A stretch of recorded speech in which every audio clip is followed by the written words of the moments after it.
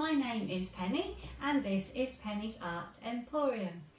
So today, as you can see, I would like to do a lovely little fluffy cat and I'd like to do it in um, the fluid art technique that I've been developing um, since I first did one a year ago. So the first one I did was a lovely little fluffy bunny and that was video 129. Um, and I want to do the little cat in the same kind of colours as the bunny.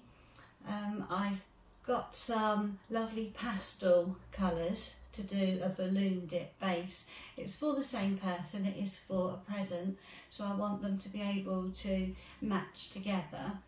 So I've got my balloons and I've got my pastel colours for the base and the white. Um, so I will do that bit first. And then what I want to do is similar to what I did in my video 150, which was my cute little fluffy dog, which was a portrait painting. So this one is also more of a portrait painting. Um, and what I did with that was I got the photograph and I made a stencil so that all the features would go in the right kind of place um, and did the background first and then started to completely fill the centre with the colours of the dog that I did. So with the cat I want to do the same kind of technique. I'll have a stencil and I've picked out some really lovely colours for the cat. In the photograph it doesn't show how warm the colour is. There is some sort of almost gingery golden kind of colours it's not quite as grey tabby as it looks in the photograph. The printer distorts the colours a little bit. So I have picked out some nice metallic colours, um, titanium gold, 24 karat gold, um, champagne gold. I've got some matte colours of sienna and burnt sienna. Uh, I've got some sand, which is matte, and some buff titanium, which is a kind of creamy colour. I've got some flat kind of greys and I've got some black as well. I've got a little bit of chartreuse green for the eyes, which I think will be very, very pretty. Um, and I've got my Amsterdam white. So I think that's kind of most of them. I've got a bit of portrait pink just for the inside of the ears.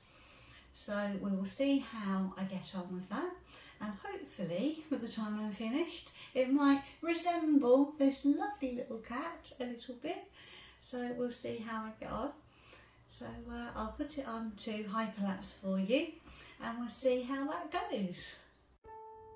So here is this stencil. I find it's a really good way to just get a rough idea of where all the features are going to go and I'm just using a dry brush with just a little bit of paint on just to give a rough outline of where everything will be in the finished painting. It's also a good way of making sure that it fits nicely on the canvas as well. So I'm trying to do it so that the cat is quite central in the canvas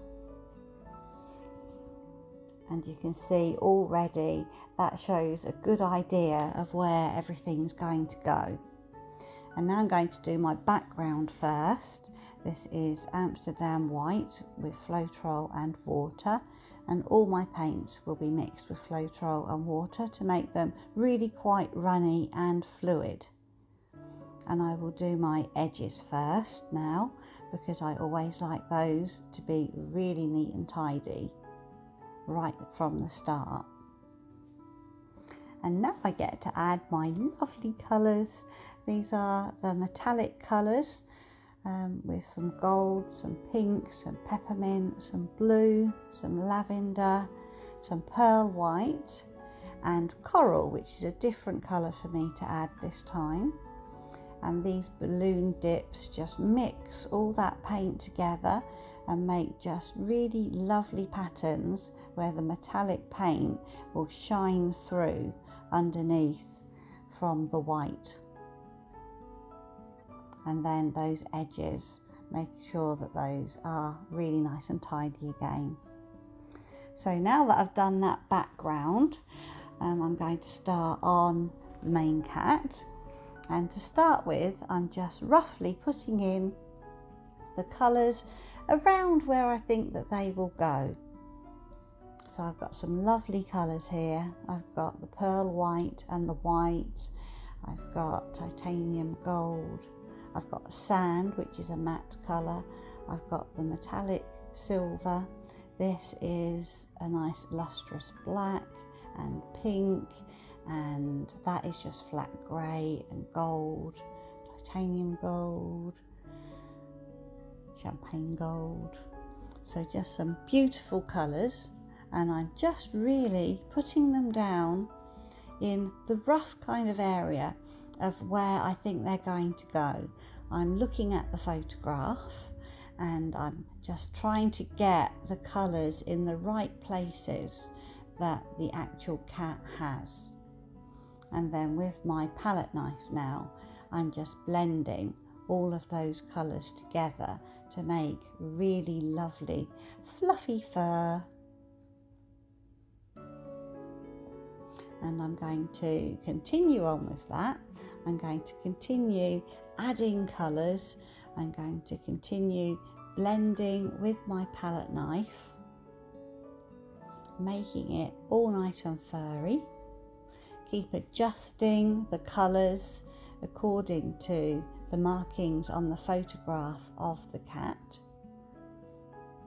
and reshaping as I go. So because the um, paint is very fluid, it does move a lot on the canvas. It expands um, and it sometimes goes where you don't want it to go. So it is a case of just reassessing it the whole time and reshaping it. And it can be really difficult to get the paint to go where you want it to go. And it can be really difficult to get it with the fur going in the right direction and the shape staying how you want it. But I really like the technique and I just like the way it looks when it's finished. So his little nose will be less furry than the rest of his face and body. So I've got to try to get the nose so that it doesn't just look really, really furry. Um, and the shape of the eyes. I tend to do the main eyes and the features last so that they don't move and they don't expand too much.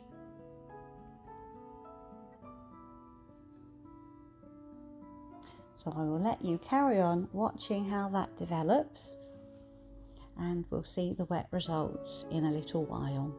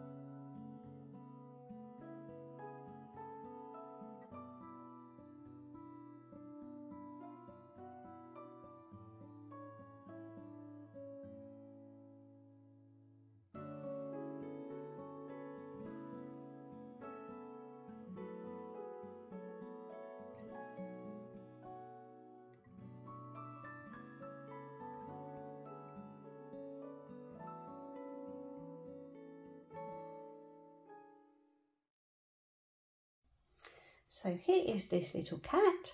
It's had a little while to dry, um, a good half an hour or so, and it has taken me quite a few hours just fiddling around really after I'd done the main video, just trying to get his eyes right, which will need a little bit more alteration when it is dry. Um, and just really trying to get the markings right because it's a real cat. I just wanted to try to get the colours in the right place. But you can see his fur is looking very fluffy and furry and uh, the metallic colours, particularly in that background, I'm really quite excited about those. It does look really nice, you can see those coming through. And then the cat itself is a mixture of the matte, the satin, and the metallic colours that will glisten in the light. So you never know exactly what that's going to look like until it's completely dry. So I'm really looking forward to that. I reckon it will take a couple of days to dry and then I'll be able to just adjust those eyes to make them perfect. I've used a chartreuse green from Arteza for those eyes, which is a beautiful metallic colour. So that should look lovely. And I'll just show you the picture that I've been working on, which is this one. And then there's another picture of a different pose just to get an idea of the kind of colours that he is. So he's a lovely little cat. So I'll let you see that when it is completely dry and I've done the eyes. So bye for now. So here is this little cat. He had a couple of days to dry and I've just finished off his face I did just tidy up those eyes quite a lot, make sure that they were relatively symmetrical. And I tidied up his nose as well, just so that he looked quite sweet. Um, and I'm really happy with his face now. Um, I've added some whiskers and apart from that a little bit of white on his ears just for that white fur and uh, he's looking very sweet now. I could fiddle for ages. His eyes take such a long time. Um, with the eyes, I'm terrible with the eyes. It always takes me absolute hours to try to get them right, but I'm happy with them now.